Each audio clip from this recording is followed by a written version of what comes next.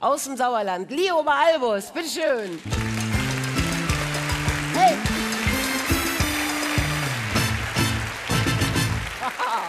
Jo! Nabend! Ja, Freundinnen und Freunde des guten Geschmacks, es war schon immer und immer so. Kindermund tut Wahrheit kund. Auch wenn das Kind jetzt, sagen wir mal, kein richtiges Kind mehr ist, sondern nur ein Erwachsener, der das kindliche Bedürfnis hat, der Mama meine Wahrheit zu sagen. Und auch wenn die Mama jetzt keine richtige Mama ist, sondern nur eine Wunschmama. Ja, ihr ahnt schon, wovon ich spreche. Ich spreche von unserem Angela, von unserer Kanzlerette, die ja tatsächlich auf ihre weit fortgeschrittene Jugend jetzt endlich auch noch Mama geworden ist. Und das alles ohne zu pressen. Und ohne den oft eher unerfreulichen Zeugungsprozess. Ja, ich meine, als der erste syrische Flüchtling das ausgesprochen hat, was Tausende von syrischen Adoptivkindern für sich gedacht haben, da war es amtlich. Der Zweitname von unserem Angela ist Masa Merkel. Oh, das klingt so schön. Masa Merkel, da gab es doch auch mal dieses wunderschöne Beatles-Lied. When I found myself in times of trouble, Mother Merkel comes to me.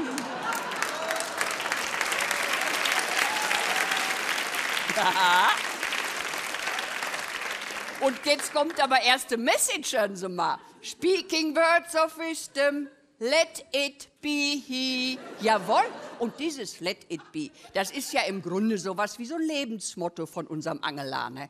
Weil wenn wir ehrlich sind, so musste ja zu ihrem Heiligenschein regelrecht hingetragen werden.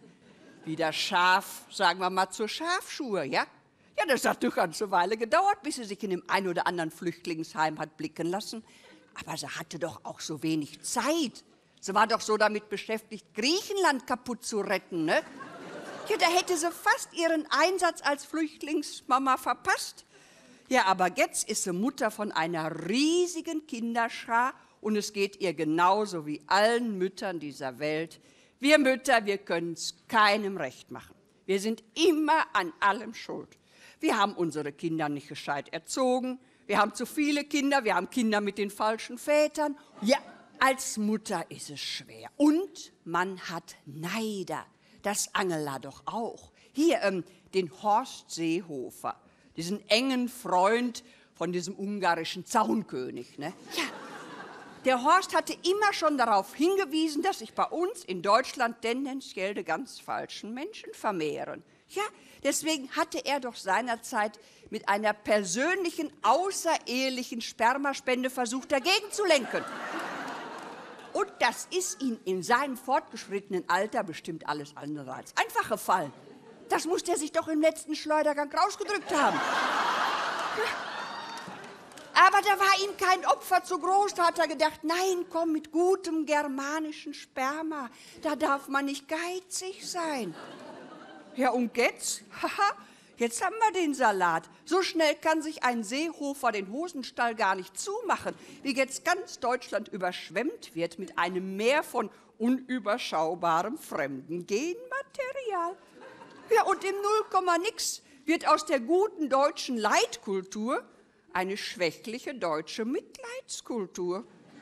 Und wer ist letztlich für diese ganze Misere verantwortlich? Horst, Jetzt hör mir mal ganz gut zu. Verantwortlich sind letztlich die Nazis. Ja sicher, wenn die am rechten Rand der Gesellschaft nicht so unglaublich Randale gemacht hätten, dann hätte es Angela schön weitermachen können, was sie so gut geübt hat, nämlich gar nichts. Und es wären nicht so unglaublich viele Deutsche in diesen Willkommenskulturwiderstand gegangen. Deswegen, ihr Seehofers dieser Welt, merkt euch vielleicht einfach mal, eine deutsche Spermaspende an sich reicht nicht aus. Manchmal ist es auch ganz günstig, wenn der Sperma später dann auch denken kann.